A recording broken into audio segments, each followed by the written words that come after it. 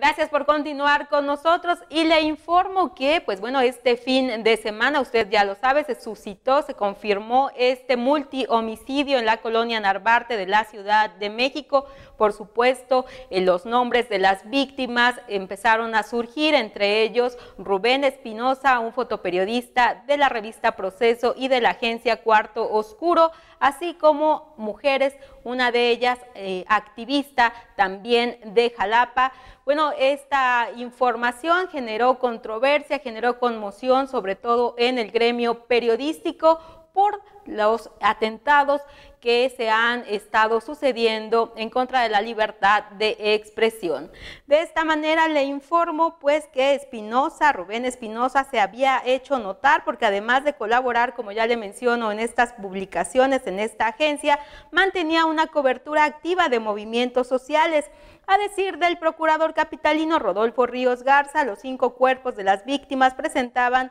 el tiro de gracia, por lo que enfatizó que no se descartará ninguna línea de investigación en este caso. Ayer en el Ángel de la Independencia se realizó una concentración de periodistas y activistas para exigir el esclarecimiento de este multihomicidio. De hecho, hubo consignas y pancartas que responsabilizaron del mismo al gobernador de Veracruz, Javier Duarte. Sin embargo, en contraste, este día el diario La Razón publicó que con base en las indagatorias de la Fiscalía de Homicidios del expediente FBJ, diagonal BJ-1, diagonal T2, diagonal 4379, diagonal 15-07, se establece que los asesinos conocían a las víctimas y habrían sido al menos tres hombres. Se señaló que con base en las declaraciones de vecinos y conocidos, los jóvenes convivieron dentro del departamento de la calle Luz Aviñón desde la noche del jueves y durante toda la madrugada y mañana del viernes con estos hombres, quienes en un momento dado los habrían sometido junto con una trabajadora doméstica de nombre Alejandra que había llegado al inmueble la mañana del viernes. Se investigan también las relaciones de amistad de los implicados. Que se encuentran abiertas todas las líneas de investigación. La Procuraduría Capitalina, por supuesto, que está enterada del tema, por supuesto, que tiene la sensibilidad de agotar todas y cada una de las líneas que nos lleven al esclarecimiento de los hechos, de los hechos incluyendo, por supuesto, los, eh, eh, datos que tenemos respecto a la entidad de Veracruz, en donde desarrollaban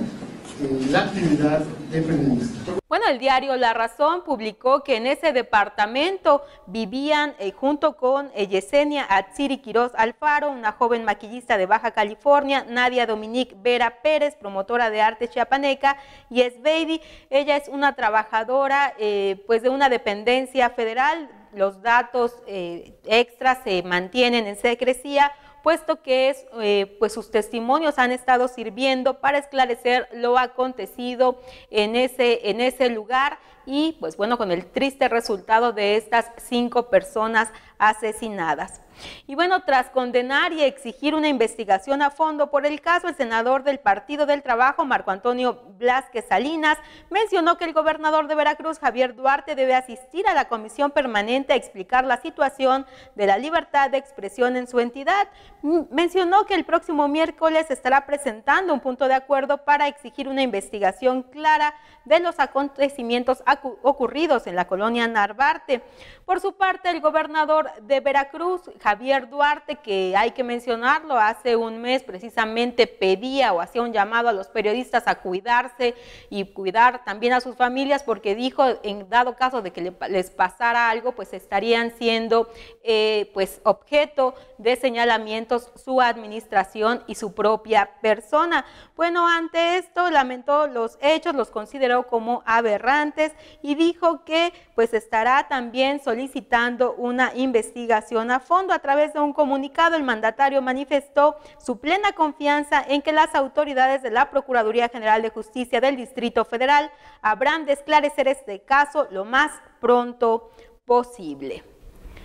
Y bueno, en otro tema le menciono que la Secretaría de Gobernación rechazó tajantemente que haya algún plan de privatizar el sistema penitenciario en México. Esto después de la fuga de Joaquín Guzmán Loera, el Chapo Guzmán. Y es que hay que recordar que después de que ocurrió este lamentable suceso, pues bueno, hubo voces que se eh, levantaron para explicar que prácticamente el gobierno de México era incapaz de estar llevando a cabo un sistema penitenciario de, eh, pues de seguridad eh, óptimo que también estuviera propiciando la rehabilitación de los internos. Eh, Acción Nacional también levantó la mano en ese sentido. Sin embargo, ante toda esta serie de declaraciones, pues se ha mencionado que no hay estos planes, como le menciona el senador panista Fernando Yunes, presidente de la Comisión de Defensa Nacional, se pronunció a favor de un programa piloto de privatización que se aplique en algún penal del país para posteriormente poderlo aplicar en todo el sistema penitenciario del país.